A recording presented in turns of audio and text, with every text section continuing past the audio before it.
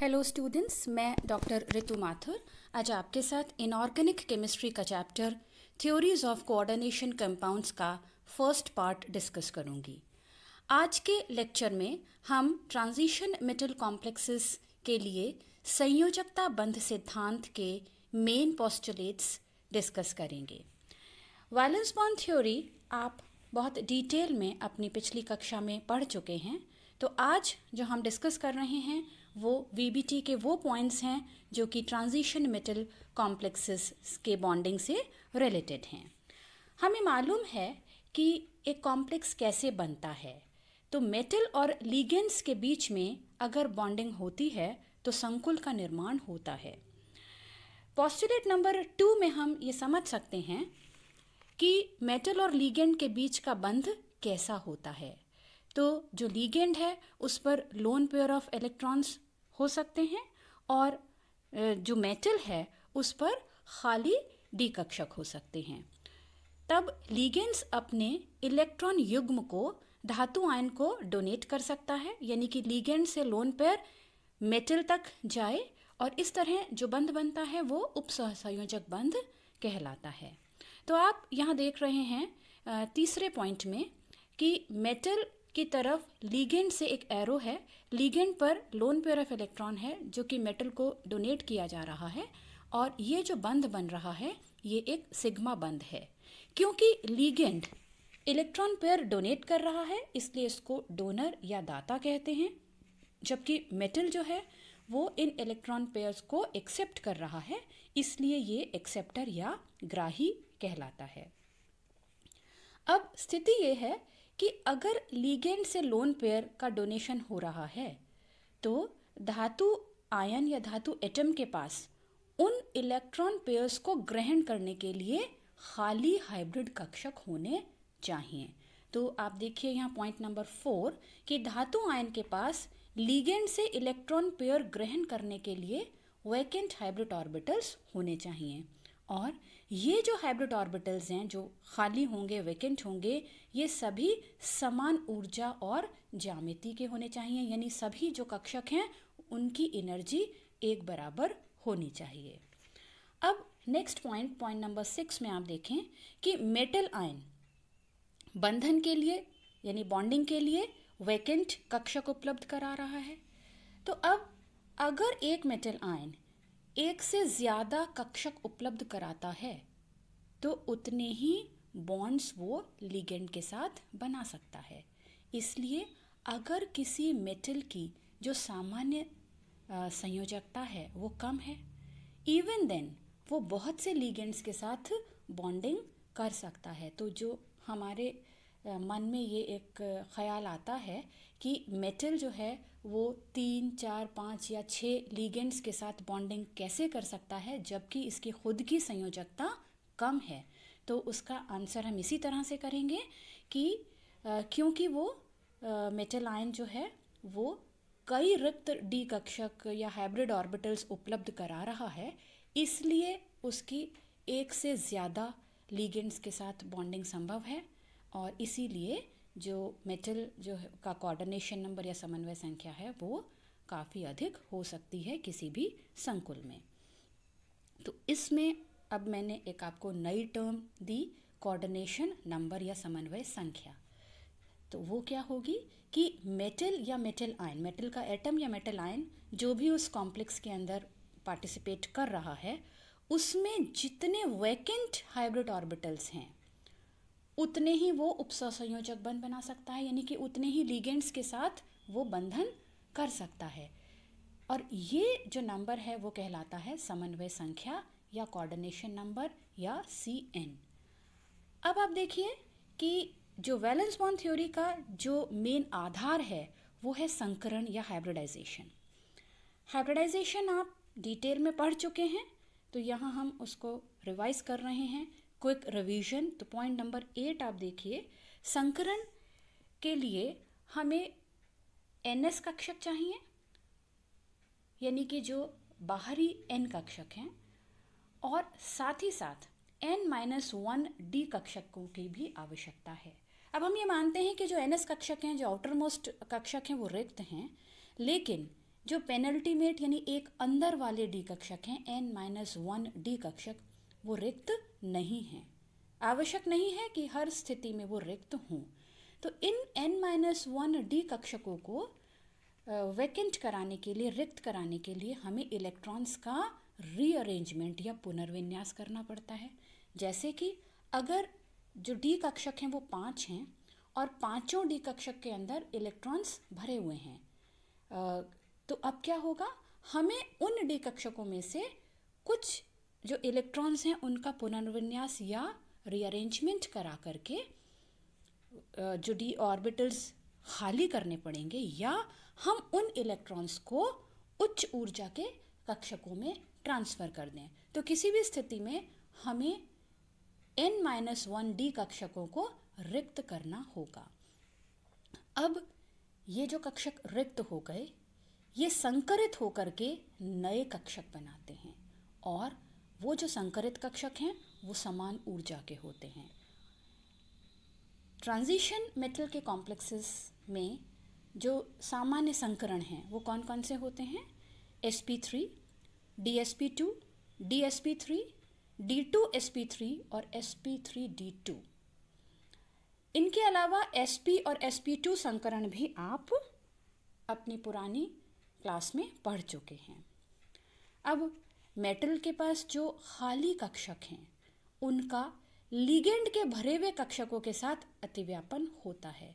यानी कि आप देखिए पॉइंट नंबर थ्री मेटल और लिगेंड के बीच में सिग्मा बंध किस तरह से बनता है कि लिगेंड के पास इलेक्ट्रॉन पैर है और मेटल के पास खाली कक्षक हैं। तो इन दोनों के जो कक्षक हैं, उनमें अतिव्यापन होता है ओवरलैपिंग होती है और स्थायी कक्षक बनते हैं। अब आप यहाँ ये टेबल देखिए। इस टेबल में हमने संकरण और जो ज्योमेट्री है कॉम्प्लेक्सेस की कॉम्प्लेक्स कंपाउंड्स की, उनको क्लासिफाई किया है। तो सिर्फ़ एक टेबल देख करके आप पूरा संकरण, समन्वय संख्या और ज्यामिति को समझ सकते हैं। तो यहाँ फ़र्स्ट कॉलम में हमने किसी भी कॉम्प्लेक्स की समन्वय संख्या लिखी है, यानी ये वो संख्या है जितने लीगेंड्स उस मेटल के साथ बॉन्डिंग करते हैं। सेकेंड कॉलम में हमने उन समन्वय संख्या के करस्पॉन्डिंग जो संकरण हो सकते हैं, वो लिखे हैं। और तीसरे कॉलम में हमने इस संकरण से रिलेटेड ज्योमेट्री और उसका बंध कोण लिखा है। तो देखिए आप सबसे पहले कोऑर्डिनेशन नंबर अगर दो है तो संकरण संभव होगा एसपी और एसपी संकरण होने पर ज्यामिति होगी रेखीय या लीनियर, और जो बॉन्ड एंगल है वो 180 डिग्री होगा। कोऑर्डिनेशन नंबर अगर तीन है तो संकरण एस पी टू संभव है। एस पी टू संकरण में आप देख रहे हैं कि तीन संकरित कक्षक हैं। कोऑर्डिनेशन नंबर तीन है, संकरित कक्षक कितने आ रहे हैं? एक एस और दो पी यानी टोटल तीन। और जामिति कौन सी होगी? त्रिभुजीय, यानी कि ट्राइगोनल प्लेनर एक त्रिभुज की तरह की जामिति होगी और जो बॉन्ड एंगल है वो होगा 120 डिग्री। कोऑर्डिनेशन नंबर अगर चार है तो इसके लिए दो तरह के संकरण संभव हैं। पहला डी एस पी टू यानी एक कक्षक डी का एक एस ऑर्बिटल और दो पी से आएँगे। यानी इस तरह से ये चार संकरित कक्षक बनेंगे, क्योंकि कोऑर्डिनेशन नंबर चार है और इस स्थिति में हमारी ज्यामिति होगी वर्गाकार समतलीय या स्क्वायर प्लेनर और बॉन्ड एंगल होगा 90 डिग्री कोऑर्डिनेशन नंबर चार में अगर सभी डी कक्षक भरे हुए हैं, यानी कि उन्हें हम किसी भी स्थिति में वैकेंट नहीं कर सकते, यानी डी टेन विन्यास है, तब डी कक्षक संकरण में भाग नहीं ले पाएँगे और अब जो संभव है संकरण वो होगा एस पी थ्री यानी कि ए कक्षक एस का और तीन पी से। और इस तरह से चार संकरित कक्षक बन जाएँगे। कोऑर्डिनेशन नंबर चार है और हमारी जामिति होगी चतुष्फलकीय या टेट्राहेड्रल और बॉन्ड एंगल होगा 109 डिग्री 28 मिनट। अगर कोऑर्डिनेशन नंबर पाँच है, तब पाँच कोऑर्डिनेशन नंबर में संकरण होगा डी एस पी थ्री लेकिन यहाँ पर जामिति दो तरह के संभव हैं।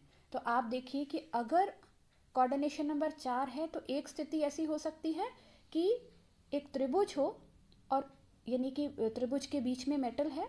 तीनों कोनों पर एक एक लिगेंड आ गया त्रिभुज के और एक लिगेंड ऊपर उसके त्रिभुज के और एक बिल्कुल नीचे, यानी कि त्रिभुजीय द्विपिरामिडीय ट्राइकोनल बाय पिरामिडल यानी एक त्रिभुज और एक लिगेंड ऊपर और एक लिगेंड नीचे, ऐसे पाँच लिगेंड्स उस पर जुड़ जाएँगे। और बॉन्ड एंगल होगा 120 डिग्री और 90 डिग्रीज। इसी तरह से कोऑर्डिनेशन नंबर पाँच में एक और ज्यामिति संभव है, वो है वर्गाकार पिरामिडीय यानी कि वर्ग के सेंटर में मेटल हो जाए, चारों कोनों पर चार लीगेंड्स आ जाएँ और एक लीगेंड उसके ऊपर, यानी एक वर्ग बन जाए और एक उसके ऊपर पिरामिड बन जाए। तो ये हम कहते हैं स्क्वायर पिरामिडल और जो बॉन्ड एंगल होगा वो होगा 90 अब हम बात करते हैं कोऑर्डिनेशन नंबर छः की। तो आप यहाँ इस टेबल में देख रहे हैं कि कोऑर्डिनेशन नंबर छः दो बार लिखा गया है। संकरण जो है, वो पहली स्थिति में हमने लिखा है D two S P three यानी कि आप यहाँ देख रहे हैं कि अंदर वाले डी कक्षक काम में आ रहे हैं। इसलिए इनका नाम है आंतर कक्षक अष्टफलकीय। ऑक्टाहेड्रल जोमेट्री तो होगी ही। अष्टफलकीय क्यों होगी? क्योंकि यहाँ पर कोऑर्डिनेशन नंबर छः है और दो डी वाले कक्षक काम में आ रहे हैं, एक एस कक्षक काम में आ रहा है और तीन पी के कक्षक काम में आ रहे हैं। तो ये अष्टफल की जामिति हो गई, लेकिन क्योंकि अंदर वाले डी कक्षक काम में आ रहे हैं, इसलिए इन्हें हम कहेंगे आंतर कक्षक अष्टफलकीय। और हम इसका हाइब्रिडाइजेशन लिखेंगे D two S P three पहले हमने डी कक्षक लिखे हैं, और इंग्लिश में हम इन्हें कहते हैं इनर ऑर्बिटल ऑक्टाहाइड्रल कॉम्प्लेक्सेस और इनमें बॉन्ड एंगल होगा 90 डिग्रीज और 180 डिग्री दूसरी स्थिति ये है कि संकरण होगा S P three D two यानी कि आप यहाँ देख रहे हैं कि बाहर वाले डी कक्षक काम में आ रहे हैं। कोऑर्डिनेशन नंबर वही छः है और यहाँ हम इनको कहते हैं बाह्य कक्षक अष्टफलकीय संकुल आउटर ऑर्बिटल ऑक्टाहेड्रल कॉम्प्लेक्सेस और इसमें जो बॉन्ड एंगल है वो होगा 90 डिग्रीज और 180 डिग्री तो यहाँ एक चीज़ ये बताने की है कि आज हम सिर्फ़ इसके जो संकरण हैं, उनके मेन पॉइंट्स ही देख रहे हैं। डिटेल में हम जैसे जैसे आगे एग्जाम्पल्स आते जाएँगे, आपको समझाते जाएँगे। नेक्स्ट यहाँ आपको ये बताया था कि लीगेंड के पास इलेक्ट्रॉन पेयर है लोन पेयर ऑफ़ इलेक्ट्रॉन है, जो कि वो मेटल को डोनेट कर सकता है। और इस तरह से जो बंध बनता है, वो बनता है सिग्मा बंध। सिग्मा बंध बनने पर आप यहाँ देख रहे हैं कि मेटल के ऊपर इलेक्ट्रॉन पेयर जा रहा है। वहाँ इलेक्ट्रॉन्स की जो डेंसिटी है, वो बढ़ रही है। अब ऐसा नहीं है कि मेटल के साथ केवल एक ही लीगेंड इस तरह का बॉन्ड बनाए। जितनी उस मेटल की समन्वय संख्या है, उतने लीगेंड्स सभी इस तरह से इलेक्ट्रॉन पेयर को डोनेट करेंगे। तो आप सोचकर देखिए कि मेटल पर अत्यधिक ध्रुवता आ जाएगी। यानी कि अगर उसका कोऑर्डिनेशन नंबर चार है तो चार लीगेंड्स उसको इलेक्ट्रॉन पेयर देंगे। अगर कोऑर्डिनेशन नंबर पाँच है तो पाँच लीगेंड्स देंगे। छः है तो छः लीगेंड्स उसको इलेक्ट्रॉन पेयर देंगे। तो हम ये कह सकते हैं कि मेटल पर नेगेटिव चार्ज का एक्यूमुलेशन हो जाएगा। पॉइंट नंबर नाइन आप यहाँ पर देखिए। अगर इतना नेगेटिव चार्ज इस मेटल पर इकट्ठा हो जाएगा तो हमें लगेगा कि संकुल अस्थाई होना चाहिए। लेकिन संकुल स्थायी होता है। इसका ये तात्पर्य है कि कोई और प्रोसेस कोई और प्रक्रिया भी साथ में काम कर रही है। तो वो प्रक्रिया क्या है? वो हम पॉइंट नंबर टेन से इसको समझ सकते हैं। वो प्रक्रिया कहलाती है पश्च बंधन या बैक बॉन्डिंग अब आप देखिए हमने यहाँ ये मेंशन किया है कि मेटल के पास में ऐसा तो नहीं है आवश्यक कि केवल रिक्त संकरित कक्षक ही हों मेटल के पास अपने भरे हुए डी कक्षक भी हो सकते हैं और लीगेंड के पास में खाली पाई कक्षक हो सकते हैं। तो अब क्या होगा कि ये मेटल अपने भरे हुए डी कक्षक से इलेक्ट्रॉन्स उल्टी डायरेक्शन में लीगेंड की तरफ़ डोनेट करेगा और लीगेंड के जो खाली पाई कक्षक हैं वो उसको एक्सेप्ट करेंगे। यानी कि अब जो बंधन है वो उल्टी डायरेक्शन में जा रहा है, इसलिए हमने इसको बोला पश्च बंधन या बैक बॉन्डिंग और अब जो बनने वाला बंध है वो है पाई बंद और इस तरह से मेटल पर जो एक्सेस नेगेटिव चार्ज या इलेक्ट्रॉन घनत्व या इलेक्ट्रॉन डेंसिटी इकट्ठा हो गई थी सिग्मा बंध बनने की वजह से, वो उल्टी डायरेक्शन में इलेक्ट्रॉन्स को डोनेट करने की वजह से वापस ट्रांसफ़र हो जाती है लीगेंड्स की तरफ़। और अब मेटल पर उतना अधिक इलेक्ट्रॉन चार्ज या इलेक्ट्रॉन डेंसिटी नहीं रह जाती और इससे इस सिस्टम में स्थायित्व आता है। तो हम ये समझ सकते हैं कि बैक बॉन्डिंग की वजह से जो एक्सिस नेगेटिव चार्ज मेटल पर इकट्ठा होता है, वो वापस डिस्पर्स हो जाता है और लीगेंड की तरफ़ ट्रांसफ़र हो जाता है और इससे सिस्टम स्थायी हो जाता है। इसी तरह हम ये समझ सकते हैं कि जो वी बी टी है, उसका, क्योंकि संकरण हमने अच्छे से डिस्कस किया है तो हम ये कह सकते हैं कि जो पॉलिंग थे, उन्होंने इन संकुलों की स्टीरियो केमिस्ट्री बहुत अच्छे से एक्सप्लेन की। यानी कि अब हम इन कॉम्प्लेक्सेस की शेप्स आसानी से समझा सकते हैं, क्योंकि अब हम संकरण समझते हैं। यानी संकरण द्वारा शेप्स हम बहुत आसानी से समझा सकते हैं। और last point V B T का ये है कि जब कभी हम बॉन्डिंग की बात करते हैं तो हम ये देख सकते हैं कि मेटल के पास, उसको मतलब उस कॉम्प्लेक्स में मेटल के पास जो इलेक्ट्रॉन्स हैं, वो पेयर्ड हैं या अनपेयर्ड हैं। अगर मेटल कॉम्प्लेक्स में मेटल के पास में अनपेयर्ड इलेक्ट्रॉन्स हैं तो वो अनुचुंबकीय होगा और अगर सभी इलेक्ट्रॉन्स पेयर्ड हैं तो वो प्रतिचुंबकीय होगा। तो इस तरह से हम VBT या वैलेंस बॉन्ड थ्योरी के मेन पॉस्टुलेट्स हमने किए, और इसके बाद इसकी लिमिटेशंस और कुछ एग्जांपल्स जो हैं, वो हम अगले लेक्चर में डिस्कस करेंगे। Thank you